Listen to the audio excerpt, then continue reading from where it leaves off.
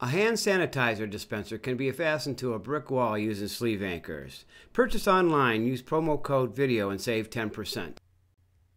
When fastening a concrete brick or block based material, a hammer drill must be used.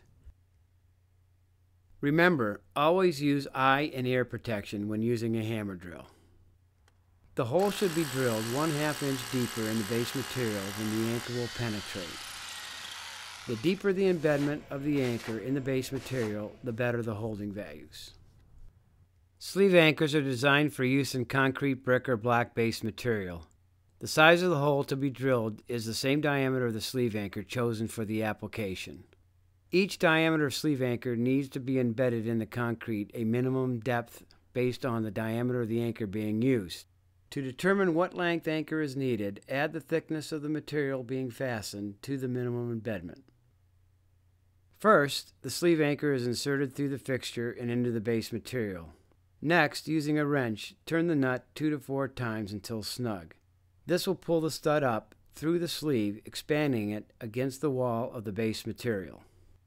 We hope that this video has been helpful in choosing the correct concrete fastener for your application and that you consider us for your purchasing needs. Remember, we have the lowest price and have over 4 million concrete fasteners in stock and ready shipped to you the same day your order is received. ConcreteFasteners.com, your one source for concrete fasteners. It's been our business for over 20 years and it's all we do. Buy your concrete fasteners from us.